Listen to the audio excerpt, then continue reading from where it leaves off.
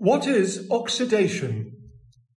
Oxidation happens when a metal, chemical, or other substance gains oxygen. It is a chemical reaction that occurs when something comes into contact with oxygen or another oxidizing agent. The opposite of oxidation is reduction. That is, reduction is the loss of oxygen. We also call it oxidation when there's a chemical reaction in which electrons move. In other words, the oxidized substance gives away electrons. An electron is a small particle with a negative charge that is found in all atoms. For example, we get rust when iron reacts with oxygen. Rust is oxidized iron. That is, it is iron that has lost some electrons while the oxygen has gained some. We refer to that process of reduction and oxidation as redox.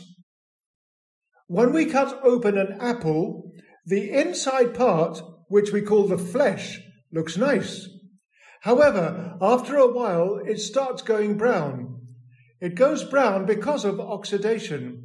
By exposing the flesh to air, which contains oxygen, it oxidizes. A substance that slows down or stops oxidation is called an antioxidant. If you add lemon juice to fruit slices, they stay fresh longer. It slows down oxidation. Lemon juice is an antioxidant. Oxidation in the human body damages cell membranes and other structures. Oxidation damages DNA molecules cellular proteins, and lipids. If enough DNA molecules are damaged, cells can malfunction or die. When the body of a human and other animals metabolize oxygen, free radicals are created. Free radicals steal electrons from other molecules, which subsequently cause damage. The human body can cope with some free radicals.